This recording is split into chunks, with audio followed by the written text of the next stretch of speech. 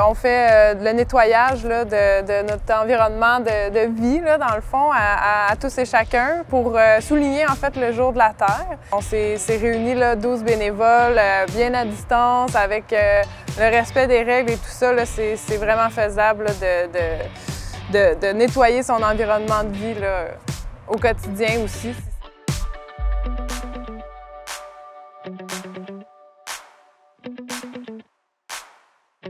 Euh, D'abord, je trouve ça important de faire partie de la communauté des tours. On est quand même euh, un, bon nombre de personnes qui se connaissent puis qui s'entraident. C'était une époque où on disait, quand on vient à Montréal, c'est une ville très propre. Maintenant, ça a relativement changé, puis c'est pas juste à cause des travaux. Alors, faut s'y mettre.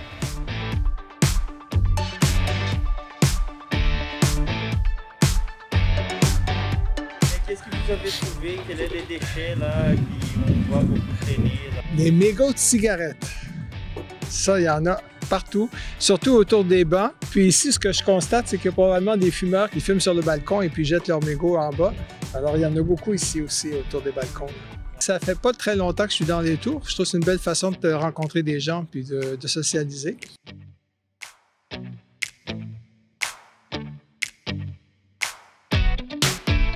C'est vraiment une tâche quotidienne d'essayer de réduire son empreinte écologique, euh, de réduire les déchets à tous les jours si on est capable. Il faut vraiment euh, se, se serrer les coudes puis essayer euh, tous ensemble des nouveaux des nouvelles trajectoires en fait parce que souvent on connaît pas nécessairement toujours ça parce qu'on a vécu avec d'autres habitudes de vie ensemble avec euh, les nouvelles approches on, est capable de, faire mieux pour le futur.